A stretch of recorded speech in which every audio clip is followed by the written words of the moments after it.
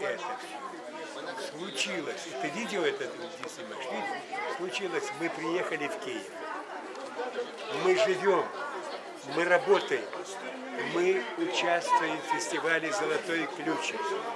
И только наша звездочка, юная, молодая журналистка Вита Антоненко расскажет благодаря кому.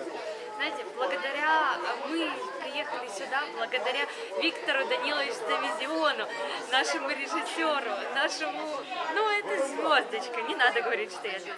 Э, Сергею Николаевичу Гололобову, то, который тоже оказал финансовую поддержку, э, Шульгачу Сергею, э, депутату Николаевского городского совета, который также оказал финансовую помощь.